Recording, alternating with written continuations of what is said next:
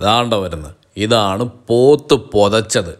ആ ഇത് ലോകത്തിൽ ഏറ്റവും രുചിയുള്ള പോത്തിന്റെ ഒരു ഐറ്റമാണ് കേട്ടോ. അത് ഉണ്ടാക്കേണ്ടത് എങ്ങനെയാണെന്ന് വെച്ചാൽ ഒരു കുക്കറിനകത്തേക്ക് വട്ടത്തിൽ അരിഞ്ഞ കുറേ സവോള ആദ്യം അങ്ങ് ഒരു ലെയർ പെറുക്കി അങ്ങോട്ട് നിരത്തണം.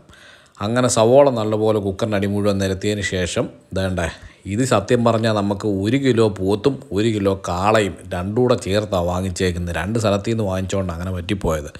അപ്പോൾ അത് ഒരു ലെയർ അതായത് ഒരു പീസ് ഒരു ഇരുന്നൂറ്റമ്പത് മുന്നൂറ് ഗ്രാം വലുപ്പമുണ്ട് കേട്ടോ. ആ വലുപ്പത്തിൽ പീസ് എടുത്ത് വെച്ച് ഒരു ലെയർ നിറച്ചിട്ട് അതിന്റെ മേളിലേക്ക് പിന്നെ സവോള നിരത്തി വെച്ച് അതിന്റെ മേളിലേക്ക് കുറേ പൊളിച്ച വെളുത്തുള്ളിയും കൂടെ വാരിയിടണം.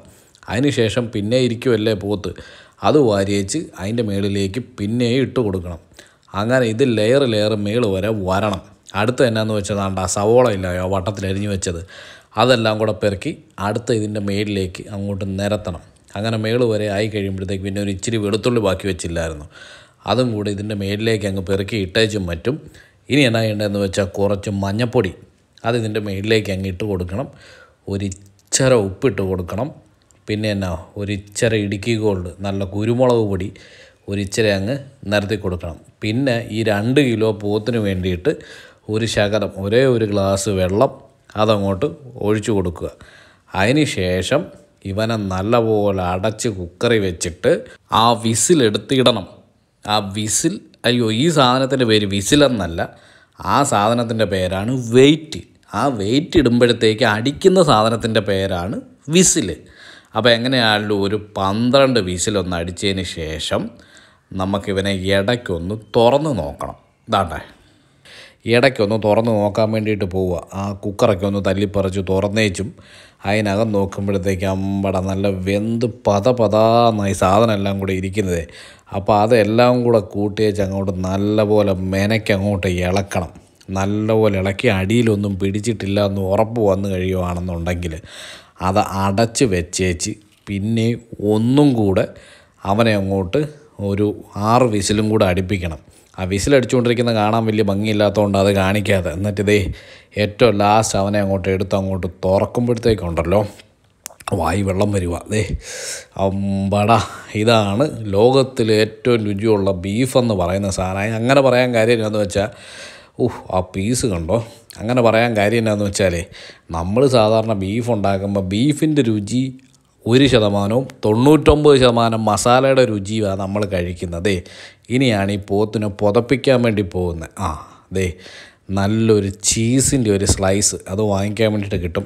അതെടുത്ത് ഇവനെ അങ്ങ് മൂടിയേക്കണം. ഇച്ചിരി കഴിയുമ്പോൾ ചൂട് അങ്ങോട്ട് ഇറങ്ങി വെച്ച് ഈ ചീസ് ഉരുകി അങ്ങോട്ട് ഇറങ്ങും. അത് വഴിയെ കാണിച്ചു തരാം. ദേ രണ്ടാമത്തെ ഒരു കപ്പ് എടുത്തേച്ച് അതിനകത്തേക്ക് ഒരു കഷ്ണം പോത്തും ഒരു കഷ്ണം കാളയും കൂടെയൊക്കെ അങ്ങോട്ട് കോരി ഇട്ടേച്ചും ഒരു ചീസ് ഇങ്ങോട്ട് എടുത്ത് അതാണ് ഇങ്ങനത്തെ ഒരു പാക്കറ്റിലാണ് വരുന്നത്.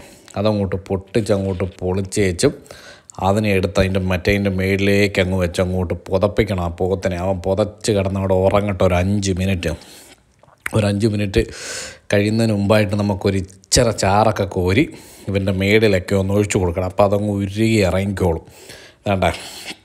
ഒന്ന് ഞെക്കിയൊക്കെ ഒന്ന് പിടിപ്പിച്ചേച്ച് വായിലിടയ്ക്ക് വെള്ളം വരുന്നതുകൊണ്ടാണ് ഈ ശബ്ദം അങ്ങോട്ട് ശരിയാകാത്ത കേട്ടോ.